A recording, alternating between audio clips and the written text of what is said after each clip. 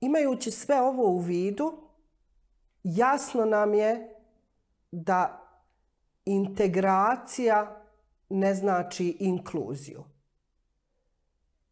Da je integracija u stvari e,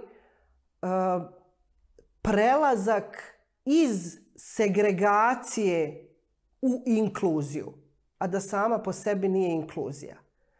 Da su sva ova pomagala, sva podrška koju sam navela, koja je potrebna djetetu sa invaliditetom, obezbijeđeni od strane države skupa sa prilagođenim nastavnim planovima, educiranim nastavnicima i tako dalje, onda bismo mogli govoriti o inkluzivnom obrazovanju.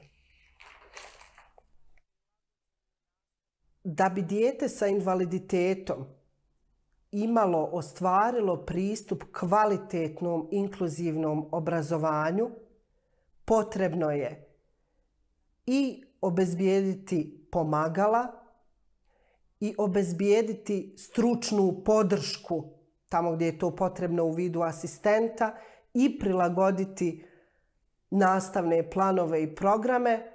Ukratko, potrebno je učiniti obrazovni proces takvim da u potpunosti odgovara djetetu sa invaliditetom.